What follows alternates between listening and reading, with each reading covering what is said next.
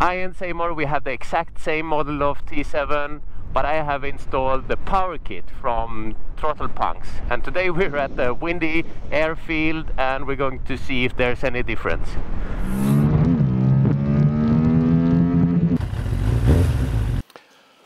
My T7 and I have been together now for over four years and 70,000 kilometers and we're happy. But any long relationship needs a little push. So it's time to drop a little blue pill in the injector, so to speak. What do you say? so I have here a power kit for the T7 and the fun fact is that this would never have happened if Tony's wheel bearings didn't break down back in Prague in 21. When that happened, we had to seek out the workshop and fix the problem, and we ended up at this place called Throttlepunks, where they restore and modify and tune motorbikes. Uh, so we got the space there, fixed the bikes, and been friends ever since. And it turns out they have now developed this power kit for the T7. And that's what we're going to install on this bike and then go for a comparison ride with Seymour's standard T7. So let me present directly from Prague the Throttlepunks power kit for the T7. So the first part of the kit is the Rally air filter kit, which is quite genius if you ask me. I haven't seen this before. Uh, you have the basket, which takes the foam filter uh, like this down there. And if you're going less dusty uh, conditions, you can just add this maximum airflow uh, top on it. And if you're going in dusty situations, you can instead add this with the pre-filter on and then add this on top. So you will have a pre-filter to the main filter. And if you would go through a Colombian cocaine lab or something like that, you also have the option to have this hat on. You will probably never have to change the main filter. So with the filter alone, they have measured it, comparing it in real life scenarios to give four more horsepowers and four extra newton meters of torque, which is the torque is what we're after. Then we have the second part of, of the kit, which is my own ECU. I sent it to them and they've remapped it. Uh, also according to their preferences and measurements and stuff like that to optimize the burning and ignition and everything. And with this, we will have a total of seven extra horsepowers to the T7, which would be a total of 80 horsepowers, and nine extra newton meters of torque. But this is all numbers. You can check dyno charts and everything. But they, what they were after and what they claim to have achieved is a much better riding experience. And there will be a feeling of much more torque and, yeah, fun riding. And that's what we're going to try out. As you can see, I have the pre-filter on the snorkel already. But let's take this all away.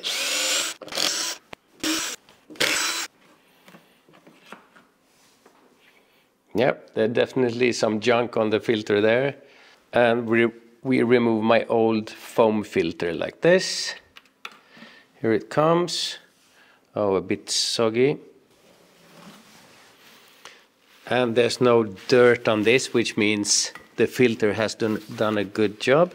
Now, if we look at the original setup, you have this hole here, of course, and the suction goes in there. I have swapped uh, that to oil filter because I can then just clean it and do it again.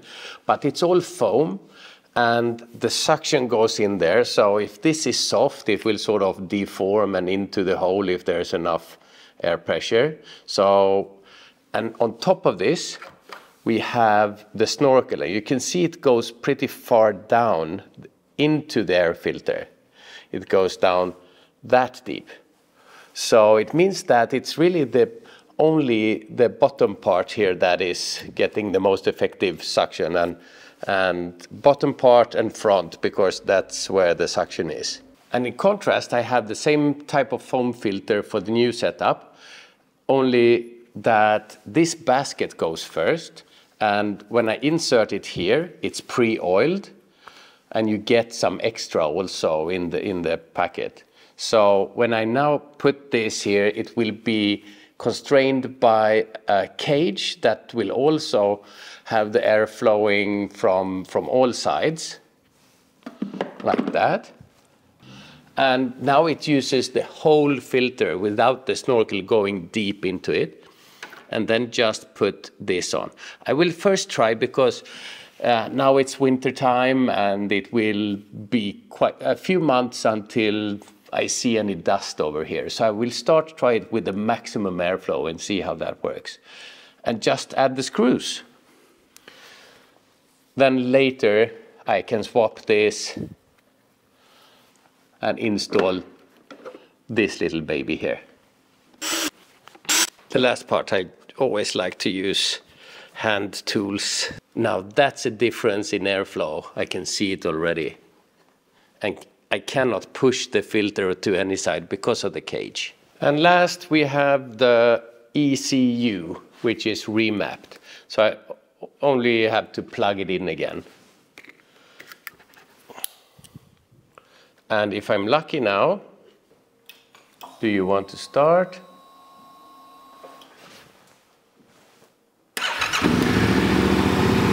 Yes.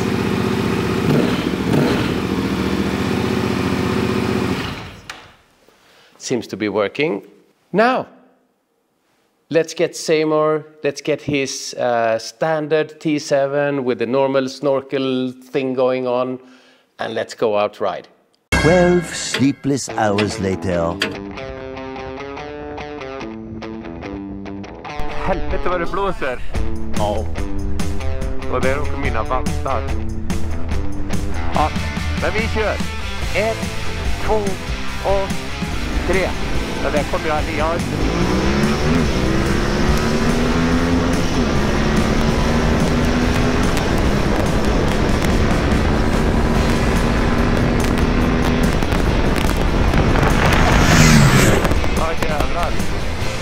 Low RPM. Okej. One, two, three.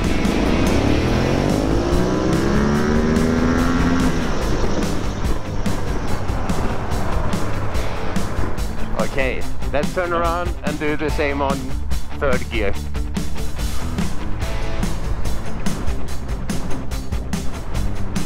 Yep. 25 kilometers on Okay. third gear. One, two, three.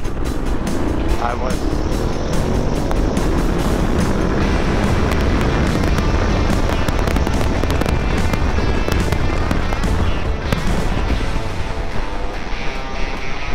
It's a bit slippery on the wet parts. Let's do this uh, one more time, third gear. One, two, three.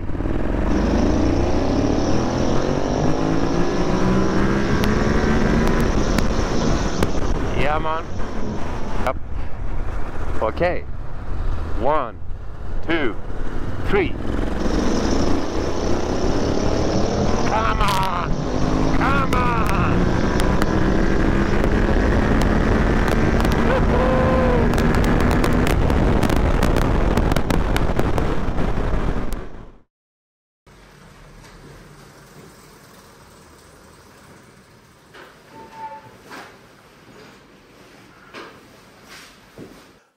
That was fun.